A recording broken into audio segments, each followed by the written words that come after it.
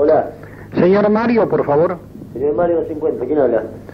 Bueno, yo en realidad quería hablar con él, pero es algo relacionado con un trabajo de chapa y la hora es muy inoportuna, yo lo sé. Pero como él le arregló el auto a un sobrino mío y el guardabarro lo dejó con una presión hacia abajo, que la rueda se toca y estamos varados acá a la salida de un restaurante, no podemos arrancar. ¿Usted entiende algo de chapa? Eh, sí, yo soy el hijo. Ah, sos el hijo de él, y entonces decirle a tu hijo que no haga estas cagadas, pibe. Porque imagínate, hacen el trabajo de chapa como el culo, y yo resulta que ahora estoy acá a la salida del restaurante, la gente me ve tirado bajo el auto tratando de separar el paragolpe, y yo cagándome de frío.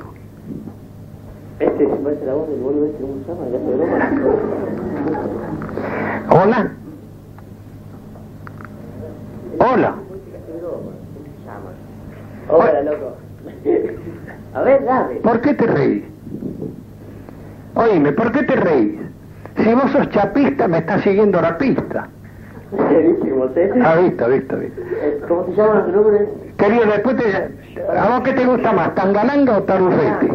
Tangalanga. Bueno. Tangalaca, para Che, no, oíme, pero en serio, tu viejo arregla los coches para la mierda, ¿eh? No, arregla bien, loco. ¿Sí? No, no. Y se llamaron porque arregla los coches como el culo. Y, y bueno, hay algún orto que vale, ¿no es cierto? Para, nosotros. Bueno, para un poquito y me quedé a vivir con vos. Chao, pibe.